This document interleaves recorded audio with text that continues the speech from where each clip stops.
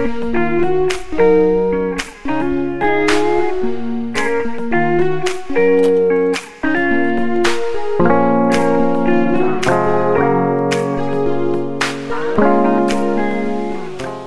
there and welcome to the channel. So on today's video we are out in my garage and we are getting some more winter sowing jugs ready to go out into the snowbank and I'm going to show you how I am going to be planting up some different vegetables, flowers and some grasses as well. So if this is your first time joining my channel, my name is Tracy and my husband Preston and I are empty nesters, grandparents, full-time workers and farmers living on the prairies in Saskatchewan, Canada. So my channel is all about how to grow in a cold climate with a short growing season, as well as lots of indoor growing during the winter using hydroponics. So it is a super sunny day out there and it's kind of affecting my, my filming, so I had to kind of pull my camera away from the window right now but I am going to show you um, a variety of different seeds that I'm going to be planting up that I want to try. We've had some unusual warm weather here on the prairies where the temperatures have risen above freezing, which is not typical for February. And it does have an effect on things because, of course, it starts melting and we had some rain, which causes a lot of ice. So when it's warm like that, of course, things start melting sooner than they should, and it can affect things such as your winter sowing because you don't want those containers to warm up too much right now and for those seeds to get confused and start germinating. But for the most part here, the temperatures fall well below freezing at night. We've had a, a stretch here where it's been above zero during the day. But I've kept the jugs that I already have out there well insulated in some snow. I keep them out of the sun. They don't really need to be in the sun right now until it's time for them to start warming up and, and germinating. So I have another eight jugs already set up with soil in them and, and I've also set them up in a tray and full of water just so they can soak up as much moisture as possible. And once we plant the seeds, we'll give them a good spraying on the top, seal them up and take them outside. So I'm going to try a couple of perennial flowers that I have not had success with in the past, but I'm going to give it another try. We have the bergamot and an aster. These are both perennials that are hardy to zone three here. So they should be a, a hardy perennial that, you know, hopefully will germinate. So we're gonna give this a try. I got this red amaranth seed from a seed exchange two years ago and just started them indoors and had just one grow and it was such a beautiful plant to have in the flower beds that I want to try growing more this year. So I'm going to try them in the in the winter sowing method to see if they work. Strawberries is another thing that I should work with this process because they do need to go through stratification. I've kept these seeds in the freezer, brought them out, and I'm going to try a few in the winter sowing jugs and see what happens. And ornamental grasses has been something that I've been really uh, challenged to get uh, the right uh, seed that works in our zone. Last year I started some pampas grass indoors and moved them outside in the spring. They were lovely grasses in my flower beds, but they didn't uh, flower because apparently they take two years. So those are not hardy to our zone, but um, this one that I got from West Coast Seed should flower um, in mid-August, end of July, mid-August. So we're going to try them in the winter sowing method and maybe also try um, some direct sowing. And also from West Coast Seeds, I got a couple different onions that I'm excited to try. Last year was my first year starting onions from seeds indoors and then transplanting them out to the garden. And I want to try using the winter sowing method as well, see if that works. And I also got some other red bunching onions that we're going to give a try to as well. Okay, so I already got a few of these planted up already. I actually had some technical difficulties with my camera and didn't have the volume on. So I had already planted up the asters, the bergamot, and the Walla Walla onions.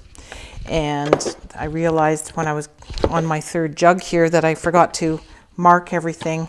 So that's something to keep in mind when you're doing this to make sure as soon as you get your seeds in here that you put in your marker uh, so that you keep track of what's in there because once you start throwing dirt on these seeds, you kind of forget what's there.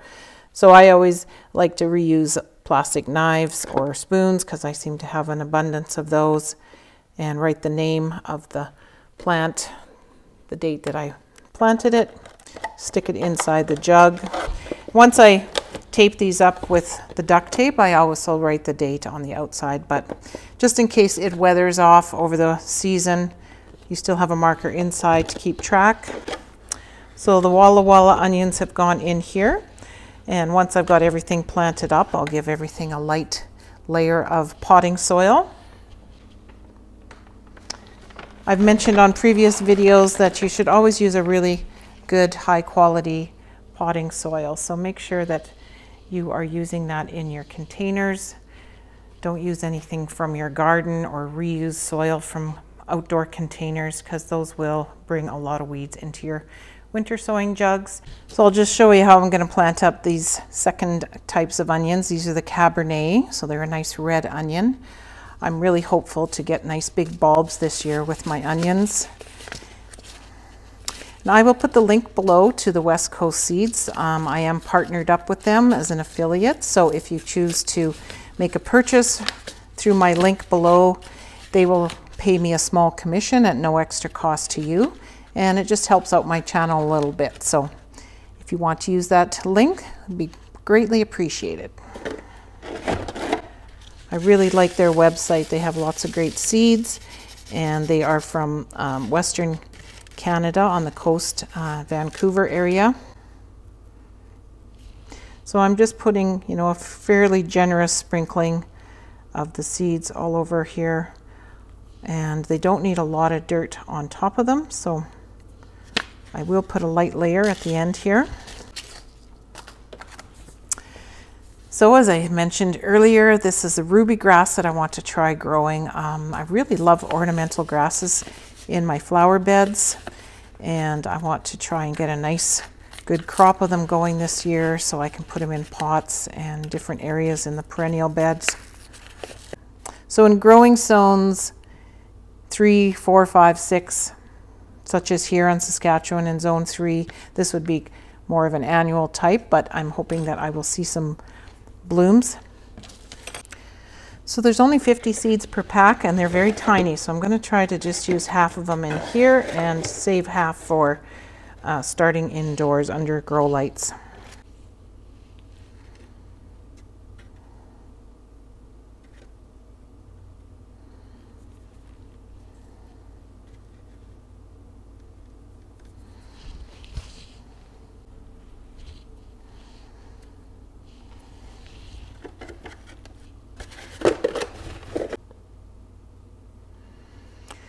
Like I said, I tried strawberries before in this method with, uh, they did not germinate.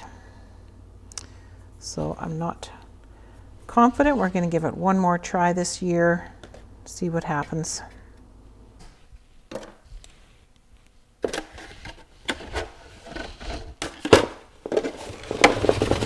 So if I can get a good crop of these going this year in my flower beds, I should be able to collect seeds from these. I think they're fairly easy to get seeds from. But I'm just going to sprinkle a pretty heavy layer of these around on the dirt. There's a lot of um, non-seed material in this as well, but we'll just hope that there is some seeds in there.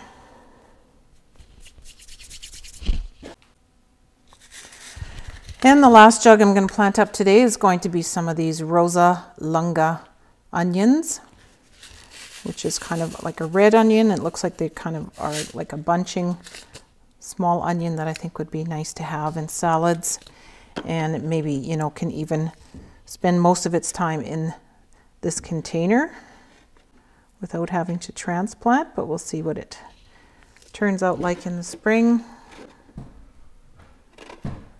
Again, I'm putting a fairly thick layer of these seeds on top of the soil.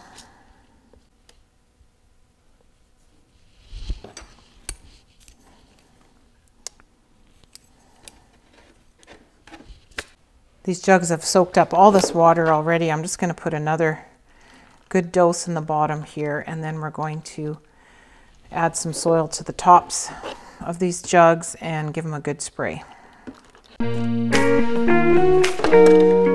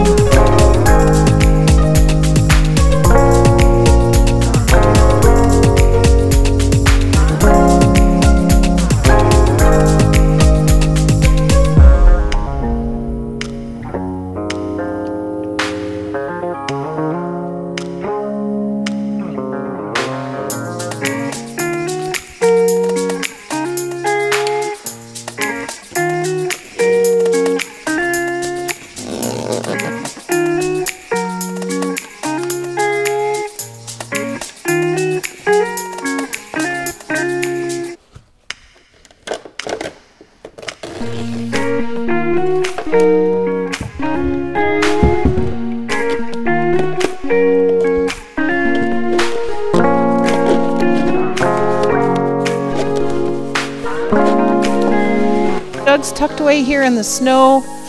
Uh, the warm weather this week did melt quite a bit of the snow that I had around these other jugs from January, but I'm just going to insulate them. Throw a little snow around everything here.